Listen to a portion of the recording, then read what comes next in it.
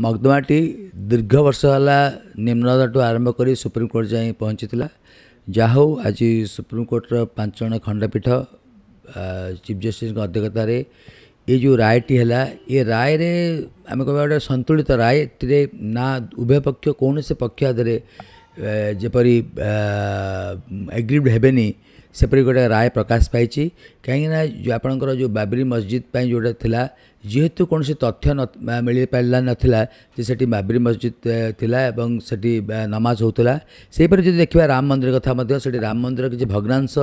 ଏ ସେବେଲେ ପାଇଥିଲେ କିନ୍ତୁ କୌଣସି ପ୍ରକାର ରେକର୍ଡ଼ ଅଫ୍ ରାଇଟ୍ ନଥିଲା ତେଣୁ ଏଇ ଏବଂ ବଡ଼ କଥା ଥିଲା ଯେ ରାୟ କ'ଣ ତ ହେଉଛି ସେ କଥା ବଡ଼ କଥା ହେଲା ଯେ ତାକୁ ନେଇ ଯଦି ରାଇଟିଂ ଦଙ୍ଗା ହେବ ମାନ୍ୟବର ପ୍ରଧାନମନ୍ତ୍ରୀ ଏବଂ ଖୋଦ୍ ଶ୍ରୀଯୁକ୍ତ ଗୋଗେଇ ଯିଏକି ଆମର ଚିଫ୍ ଜଷ୍ଟିସ୍ ଅଛନ୍ତି ସୁପ୍ରିମକୋର୍ଟ ସିଏ ମଧ୍ୟ ଗୋଟେ ଆଶଙ୍କା ଭିତରେ ଥିଲେ ଏବଂ ସାରା ଭାରତବର୍ଷ ମଧ୍ୟ ଗୋଟେ ଆଶଙ୍କାରେ ଥିଲେ ଏ ରାୟ କେଉଁଠି ଯାଉଛି ଏବଂ ରାୟତର କ'ଣ ପରିଣାମ ହେଉଛି ଏସବୁ ଥିଲେ କିନ୍ତୁ ଯାହା ହେଉ ये जो आम कौ राय एपरी गोटे व्यवस्था कराला जो थे कि मस्जिद निर्माण करने पांच एकर जगार गोटे देवाई सरकार को अनुरोध करदेश मान्यवर सुप्रीमकोर्ट एवं से पांच एकर जगह अयोध्या गोटे गोटे जगार दिजाव जो जगार कि मैंने कौन जगार गोटे कौन सी प्रकार लिटिगेसन न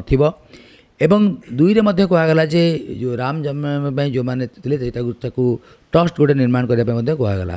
ତେଣୁ ଏ ମଧ୍ୟ ଏ ଏଇ ଯେଉଁ ନିର୍ଦ୍ଦେଶ ମାନ୍ୟବର ଅଦାଲତ ଦେଲେ ଆକୁ କେନ୍ଦ୍ର ସରକାର ଓ ଉତ୍ତରପ୍ରଦେଶ ସରକାର ତିରିଶ ନବେ ଦିନ ଭିତରେ କରିବା ପାଇଁ କହିଛନ୍ତି तीन मस नबे दिन समय देते से अवधि भितर हम तेणु मुझे भावुची आम जो आशंका करूँ कौन से गोटे राय नहीं दंगा हम राय को लेकिन प्रतवाद हम से कथ नुह कि जहाँ कह मुसलिम लॉ बोर्ड जो सुप्रीमकोर्ट जो जो थे वकिल से खाली कहते हैं आम आपको रिव्यू करवाकू रिव्यू करार अधिकार अच्छी कि